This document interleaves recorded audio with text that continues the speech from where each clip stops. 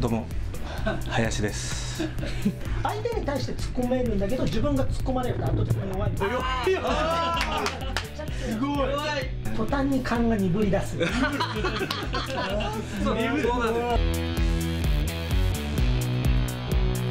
す。リベロです。リベロです。よろしくお願いします。であとこの中では一番金運があるんですよ。お。おで年々変態化してきます。お。で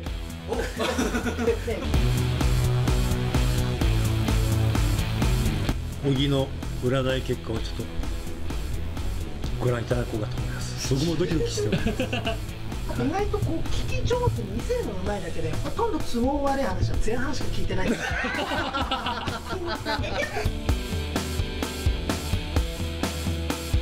もう山口咲です。どうも山口さんねこの中で一番ね芸術的感性に関してほぼ天才なんですよね。やったー！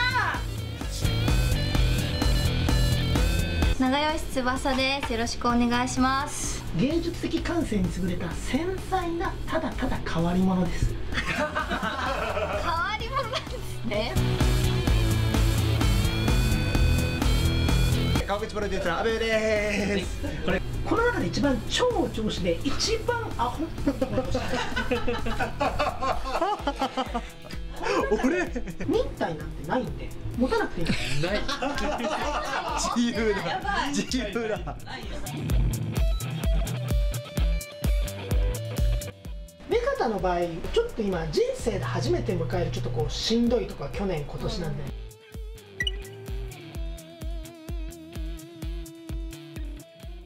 2019年のはい。ランキング。ランキングです。楽しいぞ。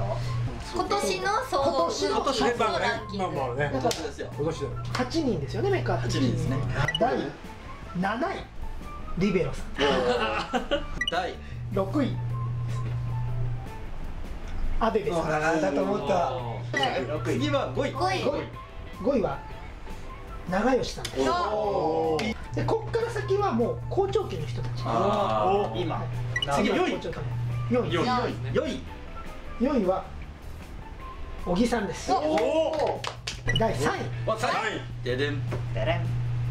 川口さんですね。おお川口さん3位。がん第3位。でもすごい2位